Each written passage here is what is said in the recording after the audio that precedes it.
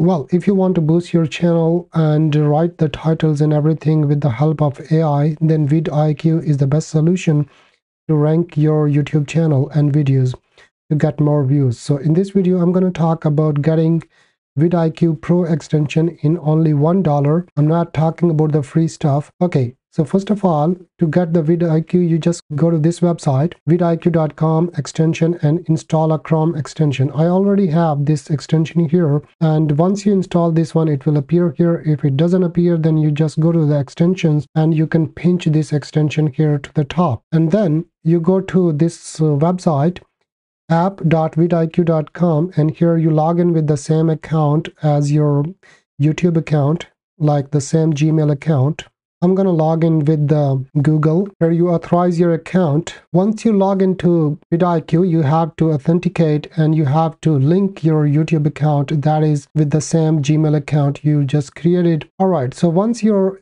channel is linked. You will see this um, upgrade to pro option here and here is also upgrade. Now if you go to your channel and click on this vidIQ extension you will also see that you are logged in. So here are multiple options. You can choose whatever suits your needs. And i'm gonna go for this one. And here i have a promo code. Here you can write think and then go apply then this $10 price will go to $1 for the first month and then later on you can change your email and subscribe with the help of another email. So this is how you can get easily with the help of like this think media code. If you want to get to know more about this think then just go to think media channel on youtube and you will get to know everything they are guiding about the youtube. So this is how you can just write your card number and uh, subscribe and pay just one dollar. And if you want to get this one subscribe the boost one. Here you also type think. And this uh, 49 dollar will be four dollar only 4.9 cents. So this is how you can get the vidIQ pro